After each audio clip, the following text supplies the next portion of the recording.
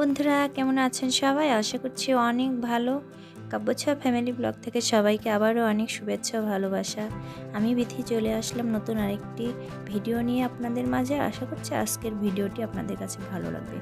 আমি আজকে নিয়ে এসেছি খুব মজার একটি রেসিপি এটা হচ্ছে মাটন কষা। আশা করছি আপনাদের কাছে ভালো লাগবে। আর আমাদের সবারই কম বেশি এই মাটন কষাটা খুব পছন্দ। তো আমি একদম ইজিভাবে ঘরোয়া পদ্ধতিতে কীভাবে আমি মাটনটা রেডি করে নিয়েছি তাই আপনাদের সাথে আজকে শেয়ার করব। দেখতে পেলেন ওখানে আমি আদা, রসুন বাটা, পেঁয়াজ বাটা দিয়েছি, হলুদ গুঁড়ো, মরিচ গুঁড়ো, ধনে গুঁড়ো ধনে গুঁড়ো, জিরে গুঁড়ো স্বাদ মতো লবণ, তেল দিয়ে দিচ্ছি। আমি সবগুলোই দেড় টেবিল পরিমাণ করে দিয়ে দিলাম। আর এখানে কিছু গোটা গরম মশলা দিয়ে দিলাম। এখানে দারচিনি, সাদা ছোট এলাচ তেজপাতা ছিল গরম মশলা আর তেল দিয়ে দিলাম। দিয়ে আমি সুন্দর করে এটা ম্যারিনেট করে রেখে দেবো। এখানে টক দই দিলে ভালো হয়। টক দই আমার কাছে ছিল না সো আমি দিইনি। তো সেই জন্য বললাম, একদম আমি ঘরোয়াভাবে আমাদের ঘরে থাকা সব উপকরণ দিয়ে খুব মজা এবং টেস্টি করে আমি আজকে মাটন কষাটা রান্না করব। তো কীভাবে রান্না করি চলুন, চলে যাই। তো আমি ম্যারিনেট করে রেখে দিয়েছিলাম আধা ঘণ্টার মতো। তারপরে আমি কিচেনে এসে আমি একটা প্যানে তেল দিয়ে তেল গরম করে পেঁয়াজ কুচি দিয়ে দিলাম। আমি বেশ কিছু পরিমাণ পেঁয়াজ কুচি দিয়ে দিলাম। আমি পেঁয়াজের পরিমাণটা একটু বেশি দিয়েছি। আমি পেঁয়াজটা ব্রাউন কালার হয়ে আসলে আমি এর মধ্যে মাটনগুলো দিয়ে দিব। আর এখানে আমার মাটন প্রায় এক কেজির একটু বেশি আছে। আর এখানে আমি গোটা গোলমরিচ দারচিনি, সাদা ছোট এলাচ কয়েকটা দিয়ে দিলাম। সুন্দর একটা ফ্লেভারের জন্য তেলে দিয়ে ভাজলে এটা একটা সুন্দর ফ্লেভার বের হয় এর জন্য আমি এটা দিয়ে দিলাম। তো খুব ইজিভাবে আমি আজকের মাটন কষাটা রান্না করে দেখাবো। তবে এটা আমার আজকের রেসিপিটা আমার ব্যাচেলার ভাইদের জন্য খুব উপকার হবে। আশা করছি আপনারা আমাদের, আমার এই রেসিপিটি দেখে খুব উপকৃত হবেন। আর যারা একদমই রান্না পারেন না, নতুন রাঁধুনিদের জন্য আমার এই রেসিপিটি আমি মাটনগুলো ম্যারিনেট করে রেখেছিলাম, তো এর প্যানের মধ্যে দিয়ে দিয়ে ভালোভাবে কষিয়ে নিচ্ছি। দেখতে পাচ্ছেন, আর মাটনগুলো, মাটনের যেহেতু হালকা একটা গন্ধ আছে, আর যদি আমরা মাটনটা ভালোভাবে কষিয়ে নিই, তাহলে সেই গন্ধটা লাগে না। তো আমি ভালোভাবে কষিয়ে নিচ্ছি মাটন, দেখতে পাচ্ছেন।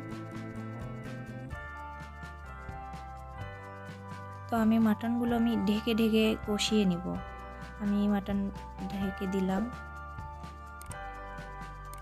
আমি কিছুক্ষণ নেড়ে চেড়ে আমি ভালোভাবে কষিয়ে নেব।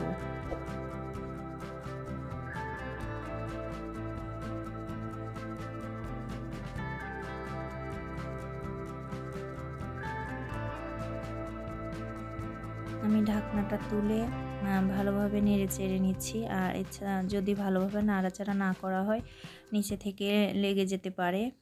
এজন্য আমি খুব ভালোভাবে মাটনটা কষিয়ে নিচ্ছি।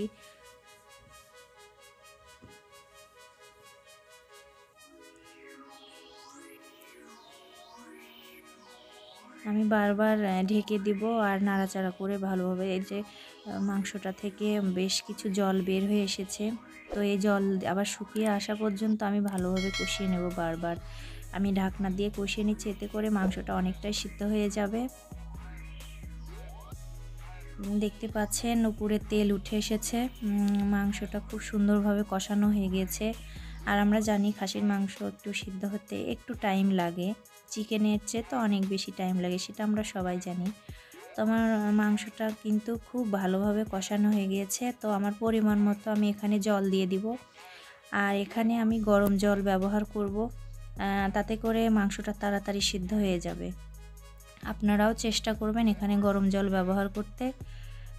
ঠান্ডা জল দিলে মাংসটা সিদ্ধ হতে একটু টাইম লাগবে, আর গরম জল দিলে মাংসটা তাড়াতাড়ি সিদ্ধ হয়ে যাবে। যেহেতু মাটন আমরা জানি একটু দেরি হয়। তো আমি আমার পরিমাণ মতো জল অ্যাড করে দিলাম। আপনারা আপনাদের পরিমাণ মতো দিয়ে দিবেন। তো আমি এখানে প্যানটা ভালোভাবে বসিয়ে দিচ্ছি, মাটনটা সিদ্ধ হোক। বন্ধুরা, আপনাদের কাছে একটাই অনুরোধ, আমার ভিডিওটি যদি ভালো লেগে থাকে, অবশ্যই আমার চ্যানেলটিকে সাবস্ক্রাইব করে আমার পাশেই থাকবেন। আর যারা অলরেডি সাবস্ক্রাইব করেছেন, তাদেরকে অসংখ্য ধন্যবাদ। আর ভিডিওটিতে অবশ্যই একটা লাইক দিয়ে দিবেন। আপনাদের লাইক আর কমেন্টস আমাদেরকে অনেক উৎসাহ দেয়। তো দেখতে পাচ্ছেন আমার মাটন কিন্তু খুব ভালোভাবেই সিদ্ধ হয়ে গিয়েছে। আমি এখন আমার পরিমাণ মতো জল শুকিয়ে আসলে নামিয়ে তো অলমোস্ট আমার মাটন কষা রেডি দেখতে পাচ্ছেন খুব সুন্দর একটা কালার এসেছে। আমি গরম গরম নামিয়ে পরিবেশন করে নিচ্ছি। তো আজকের ভিডিও এ পর্যন্তই। সবাই ভালো থাকবেন, সুস্থ থাকবেন। Bye bye